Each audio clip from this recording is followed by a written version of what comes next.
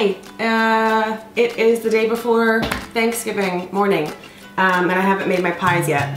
Um, so I'm gonna show you how I do my pie crust. Two cups of all-purpose flour and a rounded teaspoon of salt.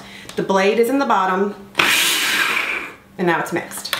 Take your shredder attachment, make sure it's shredder side up and not slice side up. Just putting in two sticks of frozen unsalted butter. So we're gonna shred it and it's gonna go tiny little pieces down into the bottom. All right, so from there, we are gonna add our ice water. Done. It's done. It's still crumbly, but pinch together to make a dough.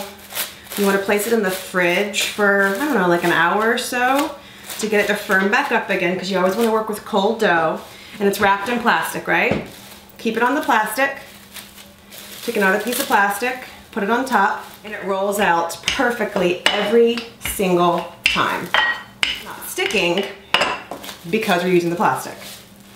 You feel me? Plastic still on, pick up from underneath, peel off top, plastic, plop this down, plastic is still on, I'm using it to smush, smush the dough down evenly and then peel off plastic. Thank you for watching. Um, have a good Thanksgiving. Mwah.